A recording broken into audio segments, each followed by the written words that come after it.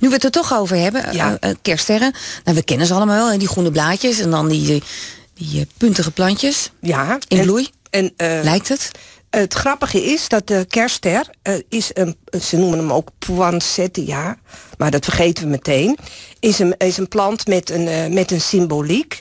Eh, want de meneer Joel Poin, Poinsett ontdekte de plant in Mexico en eh, verzond hem als geschenk naar zijn familie en vrienden. Dus hij zou ook iets betekenen. Ja, en eh, de traditie is ehm, dat op de dag van, wordt op de dag van vandaag voortgezet. En in Amerika is zijn sterfdag, 12 december, de dag dat je iemand een kerstster cadeau doet. En dan zeg je meteen, nou, is het leuk of niet, dat je van iemand houdt of hem bewondert. En dan is de kerstster, als je niet van rood houdt... of denkt dat dan krijg ik te veel, te snel het kerstgevoel... dan is hij er in het zalm, in het wit... en ik geloof zelfs in, het, eh, in een soort groenachtig geel. Dus voor iedereen is er wel een kerstster. Ja. En die kerstster is eigenlijk, als je ervan houdt, is hij heel erg trouw. Hè? Want ik, je ziet wel eens kerststerren, die zie je in, in maart nog binnen staan. Ja, ah, maar dan, eh, dan behandel je hem dus zoals het hoort, op tijd water. En eh, niet te warm en al die dingen die voor heel veel eh, kamerplanten geldt. En ook heel leuk is eh, dat hij er in mini-formaat is. Dus als je denkt, nou dat is me allemaal te groot, zo'n lage schaal. Misschien op de eetkamertafel met van die lage kerststerren staat.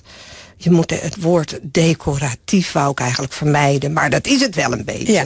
Dus eigenlijk het, het symbool van eh, geluk en liefde, als je het aan iemand geeft, is dat natuurlijk heel erg eh, positief. Ja. Voorheen waren ze eh, gewoon, ze zijn begonnen in het rood, toch? Ja, ja maar eh, er is duidelijk heel veel eh, vraag naar. Dus, pardon, kwekers zijn volop aan het kweken gegaan... om daar nog een ander kleurtje aan te geven. Hoe ze dat doen, weet ik niet. Nee. Knap is het wel. Ja, rood dus. En op een gegeven moment zag je in het wit. Hè. Ik hoorde jou zelfs op een gegeven moment net over, over zalm. En misschien eh limegroen ook wel. Ja. W- Wat vind je van die kerstster? Vind je dat, dat, hè, dat je de originele kleur alleen maar kan Nee neerzetten? hoor, nee hoor, dan ben ik... eh, iedereen moet doen wat hij wat hij mooi vindt. Nee hoor, vrijheid, blijheid. Ja. Nou is het zo dat die kerstster inderdaad, als je een hem goed verzorgt, gewoon heel erg lang mee kan Ja. gaan. Dus wat dat betreft ook een ja, mooi cadeau, kan je dan bijna zeggen. Want hoe moet je hem eigenlijk verzorgen? Nou, dat geldt eigenlijk voor... Dit is een algemeen verhaal over kamerplanten in de winter. Het grootste gevaar zit hem in te veel water geven. En Wat noem jij te veel? Ja, weet je, er zijn mensen die dat gewoon keurig om de dag doen. Eh, je moet eigenlijk even met je vingers voelen of die aarde wel eh, al droog is aan de oppervlakte. En ook een goede tip is, als je het niet zeker weet, til zo'n plant eens op. Want dan is bijvoorbeeld de bovenkant uitgedroogd, maar dan weegt die plant als lood. En dan blijkt dat dat onderin gezakt is, dat water. En ehm, eh, daar zit het grootste gevaar in. En dat is ook logisch, want het is eh, veel minder licht. Dus die fotosynthese of dat omzetten van suikers in het blad van planten gaat nu veel trager. En ehm, ehm, als je denkt, oh, ik wou de centrale verwarming hebben en ik heb nog gewoon een gaskachel, dan ben je wat kamerplanten betreft super bevoorrecht. Want in een kamer met gaskachels doen kamerplanten het gewoon veel beter.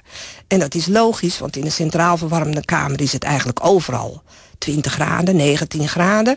En in een kamer met een gaskachel is het vooral rond de kachel erg warm, maar daar zijn ook wat koelere plekken. En, daar zet je die planten neer. en er zijn ook veel kamerplanten die dat prima vinden. Die hoeven niet zo heel warm te staan.